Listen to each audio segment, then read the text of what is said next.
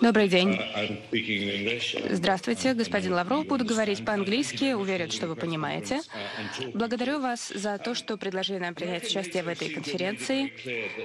Америка ясно дала понять, что не собирается предоставить вам гарантии безопасности в том, что касается а, того, что Украина и другие страны не присоединятся к НАТО. Россия признала, что на этих переговорах не удалось обсудить все, что Россию беспокоит. По-видимому, ничего это не изменится.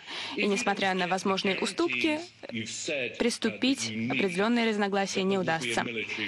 И если этого не удастся достичь, было упомянуто с российской стороны, что будет военный ответ. Не могли бы вы объяснить подробнее, что включает в себя эти военные ответственные действия? Что вы будете делать, не обязательно речь идет о вторжении. Что вы подразумеваете под военным ответом?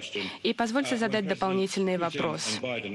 Когда в Женеве встречались президенты Путин и Байден, звучали заверения, что президент Путин Is that still the case? Is this still being looked at? Is there a possibility that the two men might, in fact, be released? Much. что готовы Насчет рассмотреть ответа ситуацию с я, э, Уилланом Ридом. Не могу вам ничего добавить к тому, что сказал э, президент Путин после своей пресс-конференции, когда он дополнительно общался с журналистами. Его спросили прямо, каким может быть ответ, э, если предложения России по гарантиям безопасности будут отвергнуты. И он сказал буквально следующий ответ может быть самым разным – это зависит от э, тех предложений, которые сделают мне, ему, президенту России, наши российские военные эксперты. Точка. Поэтому гадать сейчас на кофейной гуще – это только наши западные коллеги, американцы прежде всего, не дожидаясь э, развития событий, сразу хватаются за санкционную дубинку. Кстати, мне понравилось, что уже э, не первый год существует пост главы офиса по санкциям в Государственном департаменте. В дипломатическом ведомстве специальный целый отдел, а, который занимается только наказанием всех тех, кто так или иначе не соглашается с Соединенными Штатами. А бывает, что и тех, кто вообще ничего не сделал. Просто наказать надо, чтобы неповадно было. Поэтому а, мы за то, чтобы все это решалось на основе взаимного уважения, на основе баланса интересов. Позиция России, которая была представлена американцам и э, натовцам, она основана именно на балансе интересов. Это, эти, эти документы, они нацелены на обеспечение безопасности в Европе в целом, каждой страны, включая Российскую Федерацию. А э, позиция Соединенных Штатов и их союзников заключается в том, что они хотят обеспечить себе доминирование в Европе.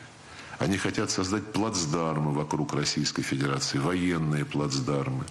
Хотят постоянно создавать раздражители для нас вокруг наших границ. И еще раз обращу ваше внимание на то, с чего я начал.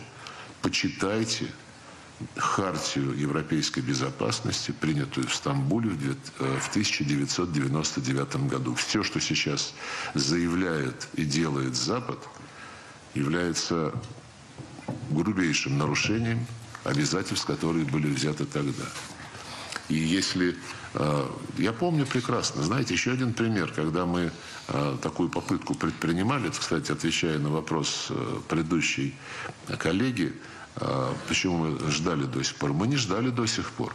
Мы еще в 2010, по-моему, году внесли проект договора о европейской безопасности на рассмотрение наших западных коллег. И а, были достаточно невежливо не поняты. Нам сказали, это никогда не будет обсуждаться. А когда мы приводили тексты документов, включая вот Хартию европейской безопасности, включая другие документы, где записана необходимость соблюдать неделимость безопасности, нам ответили, да, и мы сказали, мы просто хотим перевести э, политические обязательства, которые все мы на себя взяли, в юридически обязывающую форму. Ответ был очень показательным. Дорогие друзья, юридически обязывающие гарантии безопасности могут предоставляться исключительно членам Североатлантического альянса. Вот эту философию, которая подрывает все, что было до этого сделано в ОБСЕ после завершения холодной войны. И включая, включая вот процитированный мой принцип, что ни один союз в Евроатлантике не имеет права диктовать свою волю всем другим. А ваш союз этим занимается и получает от этого, судя по всему, удовольствие. Мы никакого удовольствия здесь э, не видим, ни для себя, ни для других, но э, знаем и умеем обеспечивать свою безопасность на, э, любой, на любой случай. И заверяю вас, э, мы не будем бесконечно ждать э, каких-то перемен, каких-то обещаний.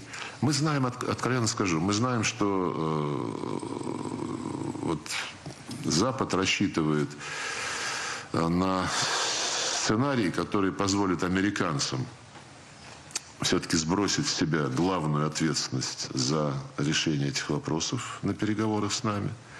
И сначала в Совете России и НАТО попытаться все это растворить, а, привлекая а, своих э, соратников, скажу так, а, повежливее. А в ОБСЕ, в принципе, невозможно вести какие-либо переговоры. Это э, организация, если, если бы организация э, была готова вести переговоры, то она для этого должна стать организацией. А у нее даже нет устава.